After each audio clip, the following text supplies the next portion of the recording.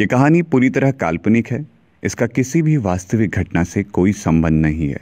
किसी भी प्रकार के विवाद के लिए चैनल और चैनल से जुड़ा कोई भी व्यक्ति उत्तरदायी नहीं होगा। राइट इंडियंस पर आप सुन रहे हैं कहानियों का एक कोना विद पंकज जीना। ओ कहानी वाले मैं कहानी तेरी। रितु कितना खूबसूरत नाम है ना उसका?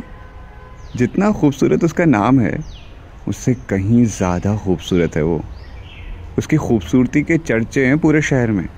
यहीं कभी किसी खूबसूरत चीज़ की तुलना करनी हो तो ऋतु से बेहतर कोई ऑप्शन होता नहीं है लोगों के पास। आकाश उससे उतनी ही मोहब्बत करता है। जहाँ तक मुझे पता है, आकाश और ऋतु की शादी उनकी ही मर्ज़ी से हुई है। मतलब दोनों कॉलेज के दिनों से एक दूसरे को जानते थे और धीरे धीरे करीब आ गए।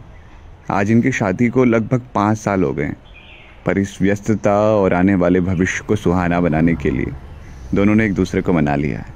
और ये सही समय पर अपने बच्चे को इस धरा पर लाना चाहते हैं। अब आप सोच रहे होंगे, मैं कौन हूँ? मैं इनका पड़ोसी हूँ। मेरा नाम राजेंद्र है, मैं अकाउंटिंग का काम करता हूँ। लगभग सारे काम मैं घर से ही बैठ कर करता हूँ तो काफ़ी समय रहता है मेरे पास लोगों को जानने का, उनके बारे में जानने का। हालाँकि मेरी आकाश के साथ कोई बनती नहीं है। उसे लगता है मैं ऋतु को बुरी नज़र से देखता हूँ। हाँ उसके दो कारण हैं। एक तो ये कि जिसकी बीवी बला की खूबसूरत हो, उसे ऐसे वहम होना आम है। और दूसरी ये कि बहुत पहले मेरी पत्नी की मौत हो गई थी, जलने से। शायद लोगों को लगता है कि मैंने उसे जलाया, पर यह गलत है। और मैं इतने सालों से इस पर सफ़ाई देते आ रहा हूँ कि अब मुझे कोई फ़र्क नहीं पड़ता। खैर छोड़िए, मैं आपको ऋतु और आकाश के बारे में बता रहा था। आकाश दिल का बहुत सही बंदा है। मैंने उतनी तो नहीं, पर बातें की हैं उससे। खैर, अभी कल की बात है, ऋतु घर पर अकेली थी। मैं यहाँ छत पर बैठा हुआ था। मैं काफ़ी देर से ऋतु को देख रहा था। वो अपने आँगन में आती और दो मिनट बाहर खड़े होकर किसी को देखती, जैसे इंतज़ार कर रही हो किसी का। मैं भी उसकी तरफ़ देखता कि यार, ये देख किसे रही है। फिर मुझे लगता है कि शायद आकाश आने वाला होगा। पर आकाश तो पाँच बजे आता है। मैंने खुद से ही सवाल किया। फिर मैंने कहा, चलो यार, जाने दो। मैं अपने लैपटॉप में बैठ गया। लेकिन ऋतु हर दो पाँच मिनट में आ रही थी और मुझे अजीब लग रहा था, मेरा ध्यान खींच रहा था। मैंने ना चाहते हुए भी पूछना सही समझा। अरे भाभी, क्या हुआ? कोई बात है क्या? उसने बड़े अनमने ढंग से कहा। नहीं नहीं, बस कोई आने वाला है। मैं उसे ही देख रही थी। कौन आने वाला है भाभी जी? मैंने पूछा। उसने इस बार जवाब थोड़ा चिड़ कर दिया। अरे आपको क्या करना है? मैं किसी का भी रास्ता देखूँ। कौन आने वाला है, कौन जाने वाला है, इससे आपको क्या लेना देना है? आप चुपचाप अपना काम कीजिए ना। मैं सन्न रह गया उसके इस रवैये से।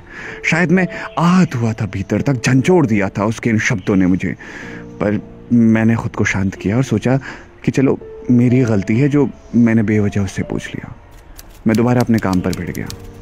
देखते देखते कब शाम हो गई, पता ही नहीं चला। मैंने समय देखा तो लगभग सात बज चुका था। इसी बीच मुझे आकाश भी अपनी गाड़ी पार्क करते हुए दिखाई दिया।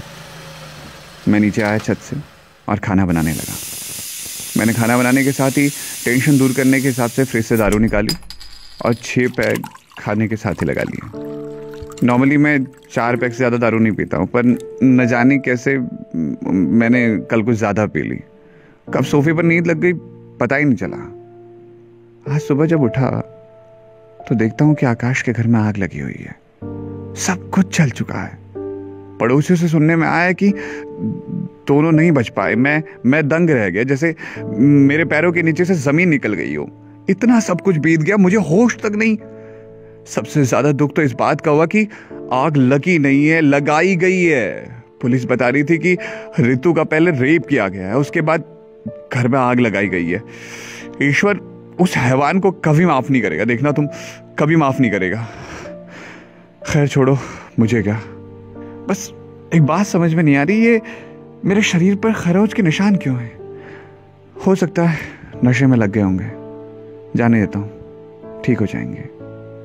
इस कहानी को लिखा है अंकित पंडित ने। आवाज़ है पंकज जीना की।